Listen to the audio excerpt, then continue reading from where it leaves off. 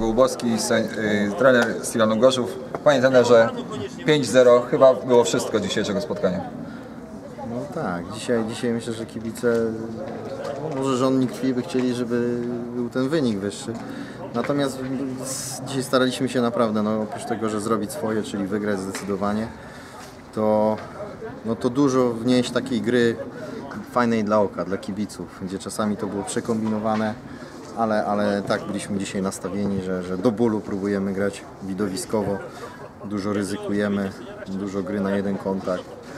Eee, No nam to dzisiaj po prostu wychodziło. Wydaje mi się, że, że możemy być zadowoleni z siebie. Mogło być 7, dwie bramki nie wpadły, znaczy wpadły bramki, ale nieuznane przez sędziego. Jakoś to skomentujemy?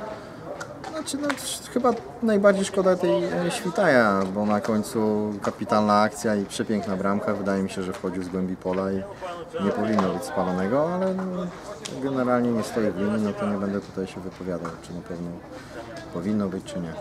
Jędrzej Dramy, nasz junior, strzelał dzisiaj dwukrotnie. Chyba coraz lepiej.